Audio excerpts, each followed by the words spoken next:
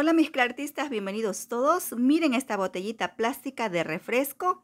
Hoy la vamos a transformar en un hermoso gnomo navideño. Empezaremos dándole peso a nuestra botellita para que tenga estabilidad y se pueda mantener mejor de pie. Así que le colocamos algunas piedritas así y yo para que no suene como un sonajero, le estoy colocando algunos restos de relleno que tenía por casa. Para decorarla vamos a reutilizar prendas de vestir de las que tienes en casa y ya no utilizas. Yo tengo este chaleco, tiene esta impresión a rayas y es monocromático. Además vamos a utilizar felpa de pelo corto como esta.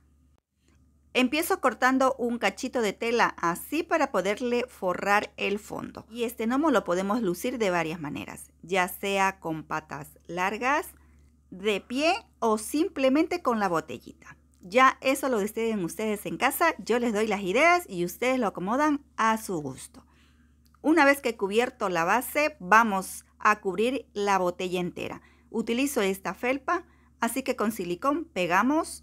Para la base voy hacer que la tela felpa quede al ras para que se pueda poner de pie y pegamos ya toda esta parte con silicón caliente.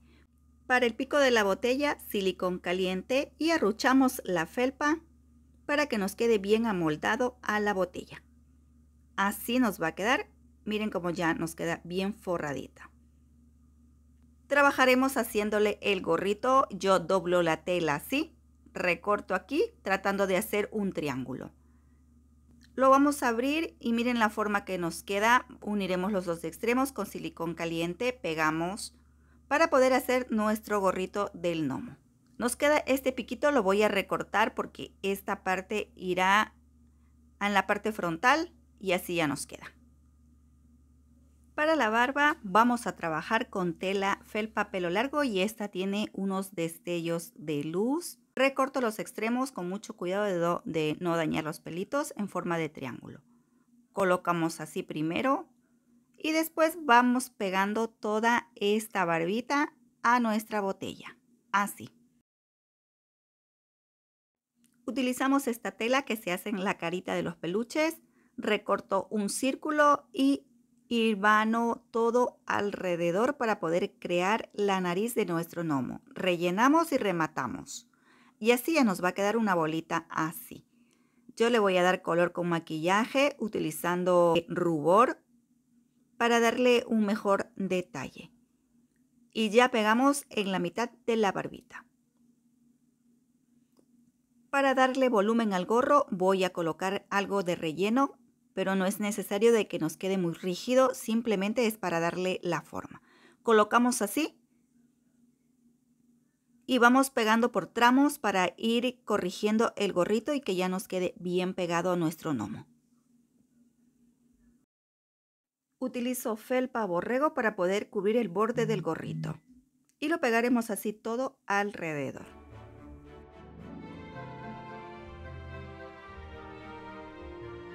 Le vamos a colocar un pompón en el gorrito, pero si no lo tienes en casa, no te preocupes. Yo te muestro cómo hacerlo. Aquí tengo un cuadradito de tela o felpa borrego. Doblamos las puntas hacia adentro para darle una forma circular. Colocamos silicón en todo el área y pegamos ya justo en la punta de nuestro gorrito. Y así de fácil ya hemos creado nuestro pompón.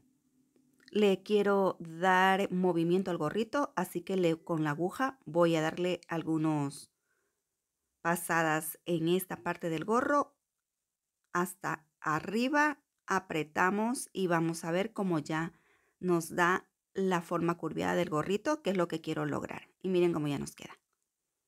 Voy a trabajar con los bracitos, así que yo recorté un rectángulo de esta manera. Voy a colocarle aquí silicón caliente. Este rectángulo tiene 20 centímetros de largo, pero a la final lo voy a cortar en dos partes para sacar los dos brazos. Colocamos una bolita de icopor forrándola con la tela pañolensi negra. Rematamos aquí con la aguja para que no se nos vaya a abrir y pegamos en el puño de nuestro bracito. Esto pues serán los bracitos. Voy a recortar en dos partes iguales para sacar 10 centímetros y de aquí ya tenemos los brazos de nuestro gnomo. Le estoy colocando un pequeño alambre aquí así para darle movimiento a los bracitos. De esta manera pues podemos doblarlos sin ningún problema.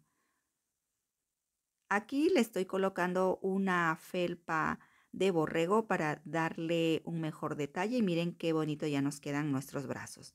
Los voy a colocar aquí, alzo un poquito, coloco aquí con silicona caliente y así ya pegaremos los dos brazos. Y miren qué preciosidad de muñequito o gnomo navideño, simplemente reutilizando una botella y aquellas prendas de vestir que ya no necesitas.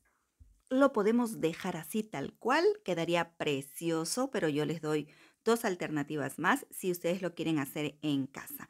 La primera va a ser un gnomo de patas largas sentado y la otra un gnomo de patas largas de pie. Así que yo ya recorté este rectángulo de 19 centímetros de largo por 9 de ancho. Pegamos así para poderle hacer ya las patitas y de estas ya las tengo a las dos. Vamos a utilizar pinchos o palitos de madera o de brochetas y para darle volumen voy a utilizar esta lámina de esponja finita, aunque también puedes reutilizar estas que vienen en los empaques o cosas para embalar. Lo importante aquí es darle como un poco más de estructura y hacerlo como más gordito. Colocamos ya dentro de las piernitas de las mangas y pego de esta manera ya la tela a nuestro pincho.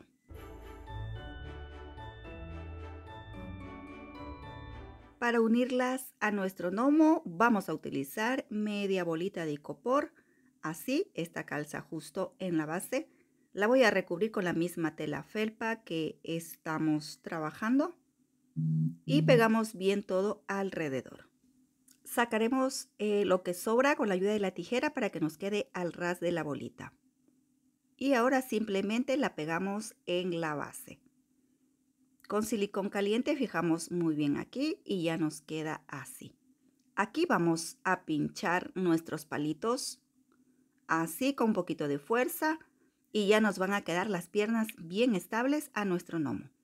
Para los zapatos yo tengo esta bolita de icopor, recortamos por la mitad, ya la perforé para facilitar el trabajo y la pegamos así.